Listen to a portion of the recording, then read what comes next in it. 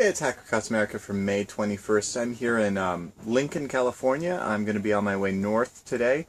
I had my awesome day off the other day. That was nice. I actually uh, returned home for a surprise visit, pick up provisions, and uh, now it's the Pacific Northwest proper. So I just thought that I would uh, show you guys a little trick here as I've uh, stopped because I needed to do a video call with Patrick Norton for Tekzilla, and I also needed to uh, record ThreatWire and upload that and a bunch of other fun logistics stuff. And so I thought I'd show you a little trick when it comes to Wi-Fi. So, um, let's see.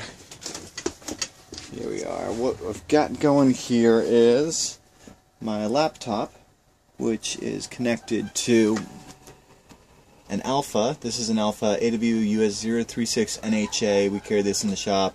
Uh, we actually ask Alfa to provide it to us in black without the logo or anything because it's plus 10 hacker points. Um, so we get a couple of questions on that, but yeah, it is an Alfa. And let's see, then it comes here, our PSMA cable, 2. That is a uh, 9 dBi uh, omnidirectional antenna uh, that just sits in a magnetic. It's just kind of like hanging out in the cup holder. And I'm here at a uh, at a place that offers the Wi-Fi's. Now, here's the thing, though. This place that offers the Wi-Fi's, it's only for um, a half hour at a time, a half hour per customer, as it were.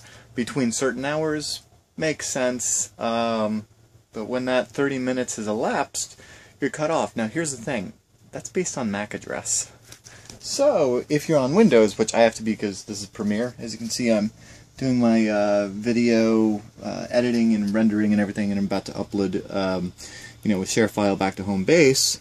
But you can see here, what I'm using is Technitium MAC address changer version 6. There's there's a bunch of different Windows utilities for this. I like this one. It's freeware.